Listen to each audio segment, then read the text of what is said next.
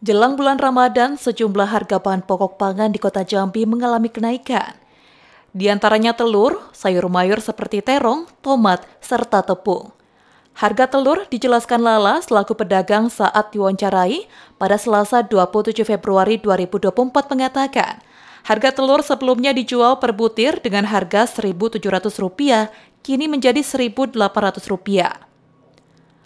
Hal ini menurutnya disebabkan oleh banjir yang melanda sejumlah daerah, sehingga harga pakan ternak sedikit terganggu.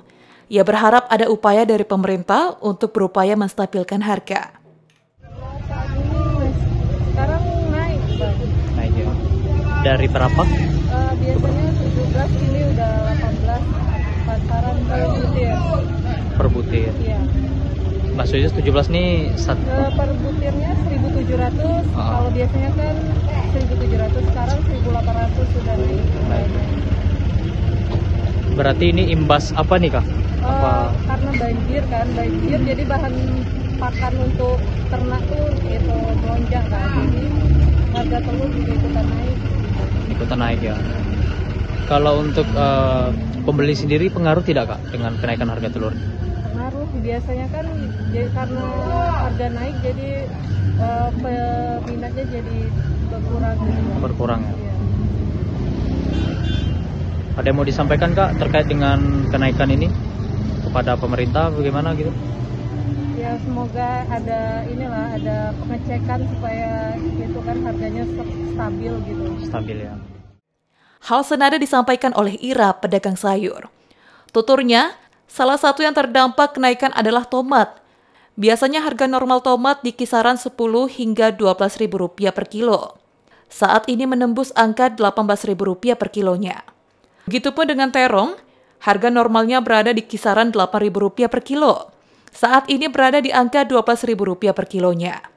Dan begitupun dengan semua jenis sayur mayur, menurutnya mengalami kenaikan. Ia juga berharap kepada pemerintah untuk bisa memberikan kebijakan penstabilan harga. Bu, menjelang Ramadan ini bagaimana dengan kondisi sayur naik, stabil atau turun bu? naik Ayo.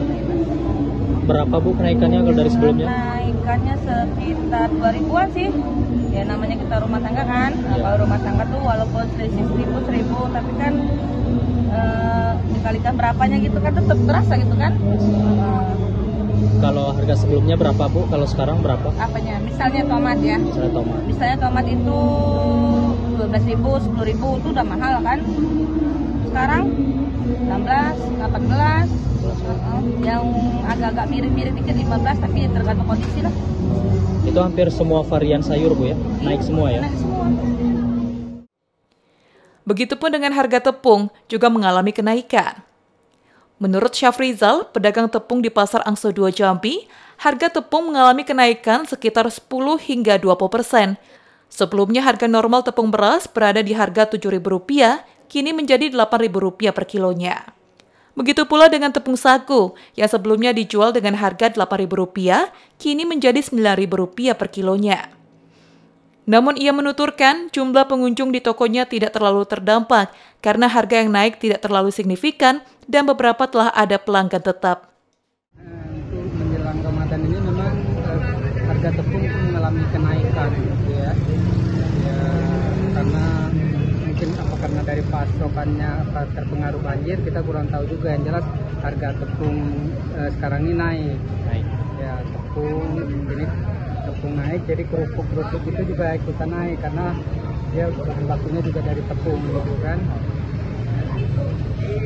Kalau perbandingan harganya pak, kalau yang dulu berapa ya kenaikannya sekarang berapa? Pak? Kenaikannya juga sih nggak begitu signifikan lah ya paling kalau misalnya dari harga eh, misalnya ini tepung beras ini dari biasanya kita jual tujuh ribu jadi delapan ribu kenaikannya seribu rupiah lah. Naik seribu rupiah. ya kayak gitu juga tepung apa nih sagu ini ya sagu jadi biasanya kita jual delapan ribu sekitar sembilan ribu Terpisah, Hidayat selaku pembeli mengatakan, kenaikan harga beberapa barang pokok ini cukup berdampak baginya. Namun karena itu kebutuhan, maka mengharuskan untuk tetap membeli. Ia berharap pemerintah mampu membuat kebijakan penstabilan harga, karena ia yang merupakan petani kelapa sawit merasakan dampak, terutama saat ini jumlah kelapa sawit yang dihasilkan menurun. Ya bang, eh, kalau harga naik gini nih pengaruh ya gimana bang? Apa nggak belanja dulu atau gimana? Belanja lah kebutuhan sehari-hari kan. Kita sehari-hari. Halim Adrian, Jek TV, melaporkan.